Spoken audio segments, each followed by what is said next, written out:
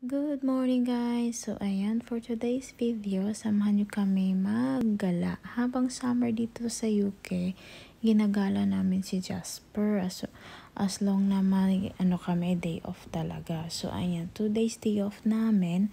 So pupunta kami sa Clitorp, sa tabing dagat. Padagat kami kasi namimiss din ni Jasper yung dagat. Lalong lalo na dun sa Pilipinas, ang puti ng buhangin sa atin at ang ganda ng dagat sa atin. Pero dito kasi, eh, brown yung buhangin nila. Hindi masyadong maganda. Tsaka yung tubig super lamig. As in, totally, lamig na lamig. At saka yung hangin malamig din yan. Ma, sobrang mahangin dyan. Wala masyadong tao.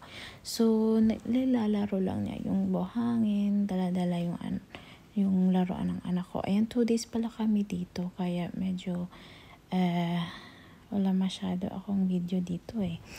So, yung makikita yung video dito, balik, kinocombine ko na yung dalawang araw, Sabado at Linggo. Saka, kasi yan yung day off ko eh. Tsaka minsan, pag weekend, um, day off din ng asawa ko. So, two days kaming gumala. So, nagbook lang kami ng isang araw sa hotel. So, nagstay kami dito. Yan lang kasi yung banding namin eh. Pag day off kaming dalawa ng asawa ko. So, ayan yung view. Yan yung ano, low tide kasi yung time na to. So, ayan, dan laki-laki ng space. So, ayan, naglalakad-lakad lang ako dyan. Pang pa, ano, ah, iwas taba, iwas taba, ang taba-taba ko nga. So, yung last day namin dito, pinasakay, pinaka, pinasakay ko si Just Bulol na eh. Ayun na, Ben. So, ayan, so last day namin, pinasakay Sakay ko si Jasper sa little train. Yung, ano ba to? Choo-choo train ang tawag dito. Basta, yan. Nasa front talaga kami kasi gustong gusto niya makita yung view tsaka ma-experience din naman niya, 'di ba? Pag last day talaga dapat ma-experience mo lahat eh. So, yeah, ayan, nag enjoy nag enjoy naman si Jasper. Naglalaro-laro lang siya. Ayan. Etong pag second day, ang dami ng tao. Grabe. Hindi siya masyadong malamig na compare doon sa Sabado. Yung unang araw talaga na malamig yung hangin. So, ngayon, medyo maganda yung araw kaya dumami yung tao.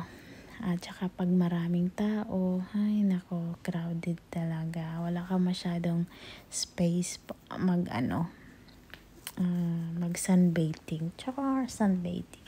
Pero gumalagala lang kami dito. Tapos nag ano, kumakain sa restaurant kasi may sikat dyan na fish and chips. Alam mo naman dito sa UK, yung sikat na ano nila is fish and chips. Tsaka ang lalaki ng fish and chips nila. Wala akong video kaya hindi ko mapakita talaga. So, ayan, nag enjoy naman yung anak ko dyan. Ang gustong gusto niya sumakay dyan at gusto pa niyang umulit pero wala ng oras. So, kailangan So, ayun na nga. nag enjoy na yung bata. Pero, nung ano, unang araw pala namin, dinala namin siya dun sa kaso. Yung mga pangbatang rides. Yan, may mga rides sa mga bata. Wala masyado akong video dito kasi nagkakape kasi kami ng asawa ko niyan habang naglalaro dyan siya sa castle. Tingnan naman yung nasa castle siya. Yan. Sa ano, ayan. Nandiyan siya dito sa castle na nag-jump siya. So, ayan, maraming salamat po sa panood ng aking video. Adios!